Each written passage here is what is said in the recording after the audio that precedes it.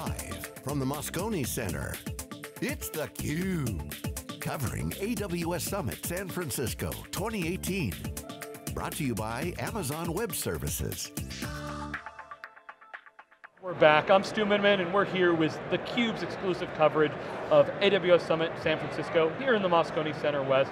Happy to welcome to the program two gentlemen from Dynatrace. Uh, we've got Andy Grabner, who's a DevOps specialist, and Dave Anderson, Vice President of Marketing. Gentlemen, thanks Hi. so much for joining us. Thanks for having us. Yeah. All right, so so Dave, we'll start, since you, have got the marketing title, give us a little bit, you know, your role there, and for, for our audience that might not be familiar with Dynatrace, I'm sure everybody knows them, um, but, but give us a little bit of the background.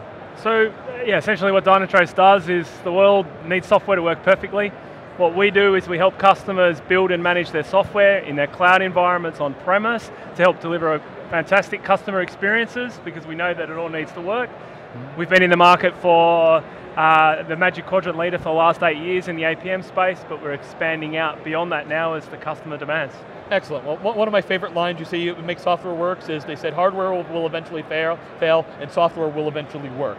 Um, so, uh, uh, Andy, you, have given a session here at the show. Tell us what, what your role is at Dynatrace. What, what, what, are you doing here at the show? Yeah, so I've been with the company for 10 years, and I've been through a similar transformation that I believe most of the people here want to go through, from quote unquote old-fashioned on-premise legacy monolithic applications to using containers, microservices, and eventually serverless. So my session was all about feel less from monolith to serverless. Yeah. I gave them some ideas on how what we went through, how we as a company transformed, but also how our product transformed from before we did on-premise monitoring built for the monolithic apps, and now we basically do full cloud scale in the cloud, but still covering also enterprise technology because everybody that wants to build the cool new stuff that they are selling here, they still have, you still have legacy applications that you integrate with and still carry around. So it's all about enterprise cloud technology that we want to, that we cover.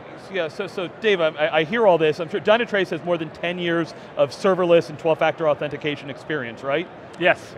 Okay, so you know you, are the, you're the hipster, you know, uh, cloud native company. You were doing all of it before any of us knew about it. Tell us a little bit, kind of historically, you know, how did kind of Dynatrace kind of start before and move into uh, you know this space? Yeah, so um, you know we have been in the space for around 10 years. Um, we've been a leader in the space, but you know what we really did four or five years ago is we predicted on the future we were going to have serverless environments, we're going to have microservices, customers are going to have multiple cloud environments, they're going to need that software to work, and they're going to need automation. So what we did is we took our 50 best engineers and we said, go and reinvent the future. And that's exactly what they've done. Our CTO has a vision, fully automated IT, so our whole product philosophy is around making it really simple for our customers to be able to see within this really complex digital environment, exactly what's going on, how is the software performing, how are the users adopting it, and how do we roll out better features and better functions to the customer base. All right, I, love the reInvent pun, but this is the summit, yes, reInvent in, in November. Andy, uh, we, we, were talking to Sandy Carter uh, in, in, the last segment, talking about customers. And you know, customers have so many applications that it's great to say this is the future in serverless and you know, microarchitectures distributed is great and everything, but some of your stuff's going to be lift and shift, some of the stuff's probably got to stay where it is for a while. Right. How do customers manage that portfolio and you know, few years ago it was like, oh, we're going to do a bimodal world. We were not you know, on board with that, uh, but it's there's a spectrum and there's lots of applications and it's really complicated. Yeah. So what's the advice, how, how, do you help customers well, you know, kind of squint through that and work through that? Yeah, so I think essentially people want to update the critical apps to be more innovative, they want to go and invest in a new enterprise cloud stack, I would say, right?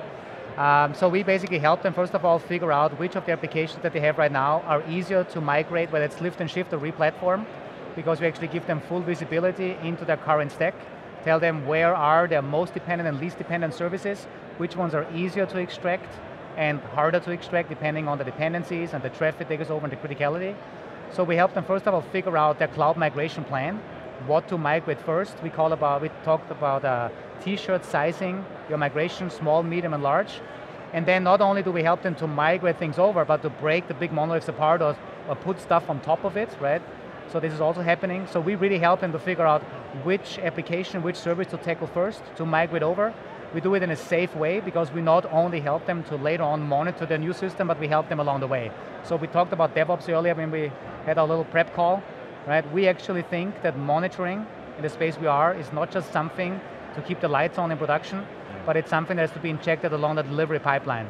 That's why we are part of your development process. We are part of your CI/CD. When a code change goes in, an architectural change goes in, when you move over, we monitor all these changes and we give you early warning signals that this change is going to be a good one or not a good one. And that's what we that's what we're solving. Yeah, well, well, so much things in the cloud world, it's never a one-time thing. It's got to be an ongoing process. It's iterative. Okay. And if I, if I hear right though, you know, you're not just only in AWS. It's my on-premises stuff, uh, multi-cloud. You play with all of those yep. uh, environments. Yeah, exactly. So uh, I mean, you name it. Yeah. Not sure if I'm allowed to name all the other vendors in the space here at AWS. We're, look, we're independent media. We cover all of those shows, and I think your customers are using all them. Exactly. So you could say they're all in on AWS, but they might also use GCP and Azure and other I think, stuff. I mean, the stats yeah. for like yeah. it's like 98 or 90 percent of customers are, are hybrid enterprise multi-cloud, yeah. and that's why we designed the product to be able to do just that. They're going to have applications running in the cloud that are making calls back to things on premise. You want to be able to see that entire delivery chain. So absolutely, we provide that single visibility across all of their cloud environments and on-premise. Yeah, um, what, do you see as some of the biggest challenges your customers are facing, Dave? The sheer the complexity, like the, the pressures which they face, which is they got to shift to the cloud faster, they got their CEO going, we need to provide a better digital experience. They're going to build out these new cloud platforms. They need they're just struggling for time to deploy these things. They need to move faster. There's threats of competition, all the buzzwords that come, but they're all real for, for IT people. And then all we're doing is giving them that visibility because this, the, the environments have become so complex, microservice, serverless, multi-cloud, on-premise, and just to be able to, to, to help them challenge the visibility into where is everything, how is it performing, is it working, and then give them the confidence to release faster, as Andy talks about. Mm-hmm. Yeah, um, so Andy, one of the things that people look at sometimes is, you know, okay, it's a multi-cloud environment, but, you know, okay, if I go down the container environment, can I do that multi-cloud? If I go down the path and say something like Fargate, that's only uh, with Amazon. So are your customers concerned about that? How deep down do they go up the, I should say, how far up the stack are they willing to go with Amazon, or are, are they holding back and trying to use services that are more, uh, you know, easily to be, be able to get migrated if need be? I want to give you two, two answers to this. Yeah. First of all, the developers don't care. Okay. I don't care where it runs. Yeah, no, I, I, I understand. I've got a software development team. Exactly. When they port it over to AWS, they're like, auto scaling's awesome, it's great. I don't want to have to port somewhere else, and if it works, exactly. it goes back, I go back to, you know, it was like standards and proprietary versus that.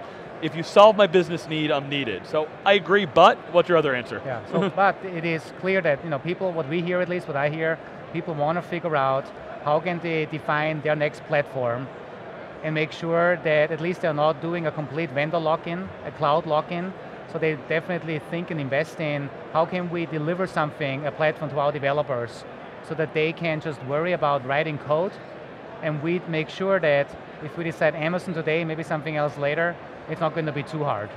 And so I think we see that people try. I think still a lot of people are in the early stages, so they start primarily with one vendor, with one platform, with one technology, but they always make sure that they keep their their options open to eventually move over, and they're constantly lookout. That's why they're constantly bringing in new technology, which is also a challenge for every vendor that is here on the floor to make sure we're coping with this technology disruption that is constantly happening.